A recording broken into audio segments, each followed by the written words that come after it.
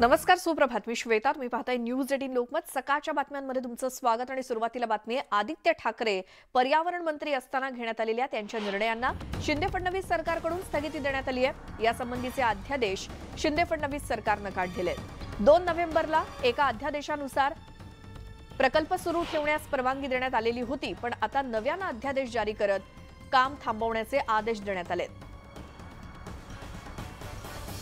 आदित्य ठाकरे पर्यावरण मंत्री असताना त्यांनी जे काही प्रोजेक्ट्स प्रस्तावित केले होते किंवा सुरू केले होते त्या सगळ्या प्रोजेक्ट्सच्या कामांना शिंदे फडणवीस सरकारनं आता स्थगिती दिलेली आहे. त्या प्रकारचा अध्यादेशच सरकारनं काढलेला आहे.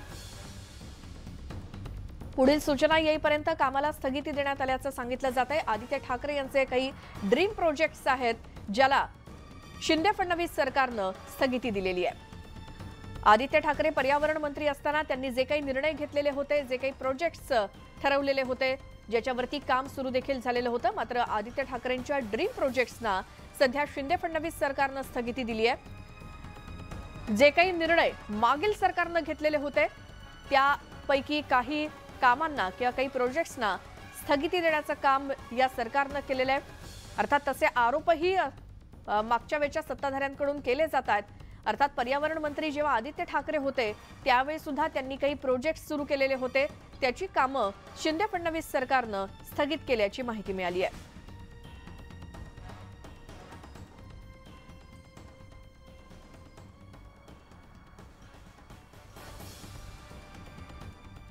आता पुढची बातमी आहे. महाराष्ट्र राज्य सहकारी बँकेतील हजारो कोटी रुपयांचा घोटाळा प्रकरणामध्ये राष्ट्रवादी काँग्रेसचे नेते आणि माजी उपमुख्यमंत्री अजित पवार यांच्या अडचणी पुन्हा वाढण्याची शक्यता आहे. या प्रकरणी पवारांसह एकूण पंच्याहत्तर जणांना दोन वर्षांपूर्वी क्लीन चिट देणाऱ्या मुंबई पोलिसांच्या आर्थिक गुन्हे शाखेनं या प्रकरणी नव्यानं तपास सुरू केलाय. तशी माहिती आज ईओडब्ल्यू तर्फे मुंबई सत्र न्यायालयामध्ये देण्यात आली आहे. यावरती आज शुक्रवारी मुंबई सत्र न्यायालयात सुनावणी होणार आहे.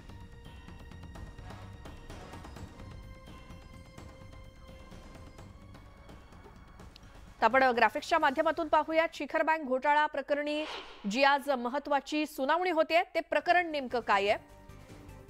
महाराष्ट्र राज्य सहकारी बँकेमध्ये हजारो कोटींचा घोटाळा झाला. अजित पवार यांच्या अडचणीमध्ये त्यामुळे वाढ होणार आहे. कारण अजित पवारांसह पंच्याहत्तर जणांना या संदर्भात क्लीन चिट मिळालेली होती. मात्र आता मुंबई पोलिसांची आर्थिक गुन्हे शाखा या प्रकरणाचा नव्यानं तपास करणार आहे आणि मुंबई सत्र न्यायालयामध्ये आज त्या संदर्भात सुनावणी होणार आहे. शिखर बँक घोटाळा प्रकरणी. तर हे प्रकरण नेमकं काय आहे? तर संचालक मंडळाकडून कोट्यवधींच्या कर्जाचं वाटप करण्यात आल्याचा आरोप आहे. त्याचसोबत कर्जाची परतफेड न झाल्यामुळे बँकेचं नुकसान झालंय. या घोटाळ्याची सीबीआय चौकशी करण्याची मागणी केली जाते आणि थेट गुन्हे दाखल करण्याचे दोन हजार एकोणीसला हायकोर्टाचे आदेश होते.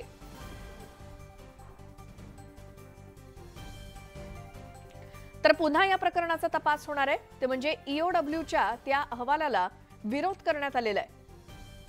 ज्या ज्यात अजित पवार यांना क्लीन चिट देण्यात आलेली होती. अण्णा हजारे यांचा देखील या अहवालाला विरोध आहे.